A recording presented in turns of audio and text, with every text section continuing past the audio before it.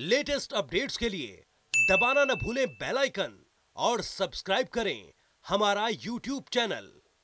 चलिए अब बात शिमला की करते हैं। शिमला विधानसभा में बजट सत्र के दसवें दिन सदन में सत्ता पक्ष और विपक्ष में कई मुद्दों पर तकरार देखने को मिली।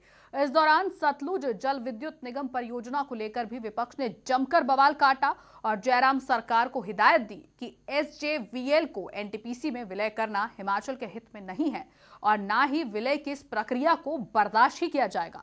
मुख्यमंत्री जयराम ठाकुर ने कहा कि हिमाचल के गौरव के साथ समझौता नहीं करने देंगे। विपक्ष राजनीति के लिए इसे मुद्दा बना रहा है।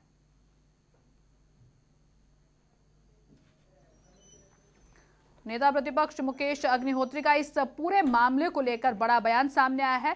साफ़ तौर पर केंद्र सरकार हिमाचल के हितों पर अधिग्रहण कर रही है।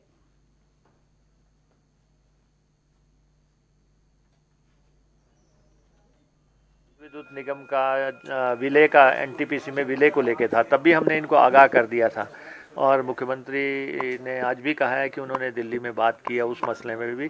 और हम चाहते हैं कि ये जो हमारे संस्थान हैं जो जो जो, कि हिमाचल की प्रतिष्ठा के साथ जुड़े हुए हैं इनको बचा के रखा जाए। बीएनएल पर आप बोल रहे हैं उस पर हमने पहले ही प्रधानमंत्री जी को भी लिखा है और केंद्रीय मंत्री जो हमारे पावर मिनिस्टर हैं, उनको भी लिखा है, उनसे व्यक्तिगत रूप से भी बात हुई।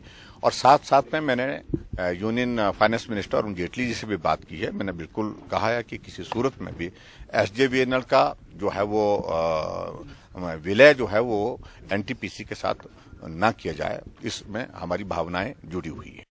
लेटेस्ट अपडेट्स के लिए दबाना न भूलें बेल आइकन और सब्सक्राइब करें हमारा यूट्यूब चैनल।